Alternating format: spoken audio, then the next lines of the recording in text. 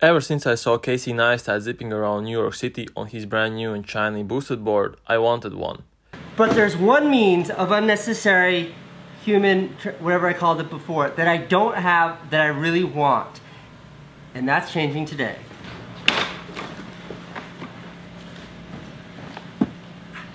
Contained in this box is something I've literally wanted since I was a little, little, tiny boy. So fast! He started riding boosted boards right around when I was 17 years old, so a $2,000 skateboard was out of reach for me, as it was for any teenager working a minimum wage job.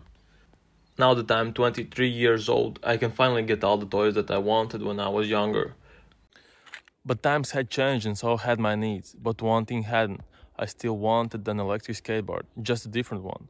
One that's crazy fast, can go on gravel roads, and one that doesn't cost an arm and a leg. That left me with one option make my own. I don't know about you, but I don't know shit about electrical engineering. So I had to make this as simple as possible, and so I did. I started looking around and found a promising seller from China. His company is called L Faster. Couple messages later, I bit the bullet and bought $700 worth of parts, all while I was drunk.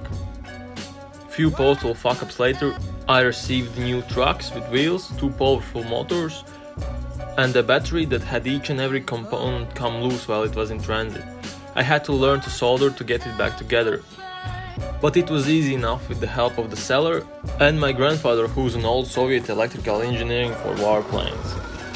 Putting it all together was as easy as it gets. All I had to do was unscrew the old trucks and put on the new ones. As for the battery, I borrowed my friend's drill to make 4 holes and screw the battery to the board. With everything holding together, it was time for testing. As someone who rarely rides skateboards, getting up and riding was easy enough. The controls are very responsive. You have one trigger for going forward and braking, then there's a button for reverse and one more button that switches through four modes.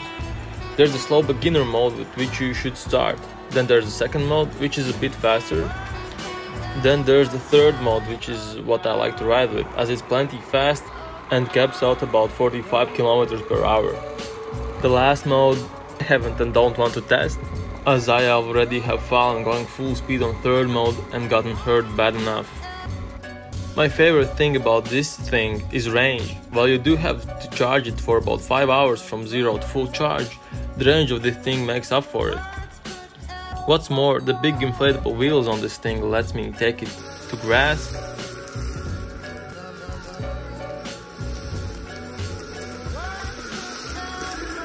and gravel roads which we have plenty of here. In conclusion, if you're anything like me, build your own board. Not only you'll get very powerful and capable off-road board, you'll learn a lot during the process. I've read that these things break a lot, but if you build it yourself, it should be easy to fix, right? Making my own electric vehicle got me feeling like Elon Musk and I'm hooked. For my next project I want to make an electric super board that goes insanely fast, so if you're into that please consider subscribing to my channel.